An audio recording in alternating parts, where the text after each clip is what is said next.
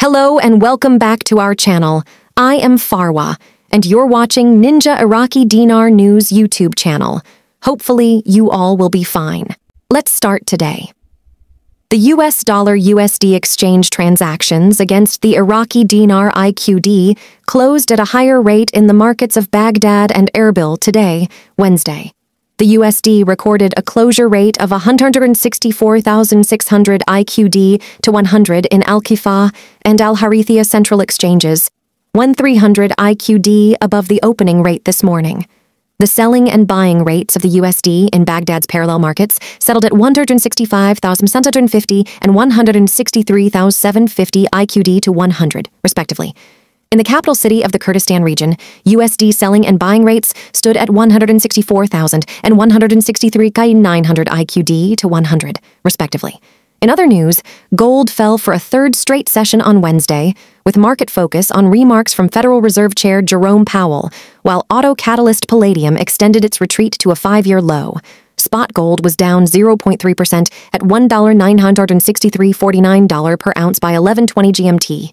U.S. gold futures fell 0.2% to $1,969.90. Silver dropped 1.2% to $22.35. Safe haven demand for gold is cooling, as there is some perception that the conflict in the Middle East might be contained to just Israel and Hamas, said Edward Gardner, commodities economist at Capital Economics. Gold price reaction will very much depend on how the market views Powell's comments. Making greenback priced metals less alluring for other currency holders, the dollar index rose 0.2%. Powell on Tuesday maintained a balanced tone on the central bank's next decision, but noted they would focus on more economic data and impact of higher long-term bond yields. Powell will speak at 9:15 a.m. ET and at 2:00 p.m. ET on Thursday.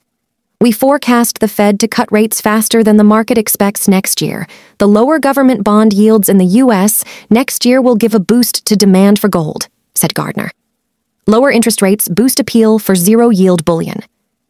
Elsewhere, palladium hit its lowest since October 2018 at 1,773 earlier in the session and was down 2.8% at 1,025.94. Platinum eased 1.2% to $879.77. And that's it for today's news update. Don't forget to like, share, and subscribe to our channel for more updates on the Iraqi dinar, gold, and other market news. Thank you for watching and see you in the next video.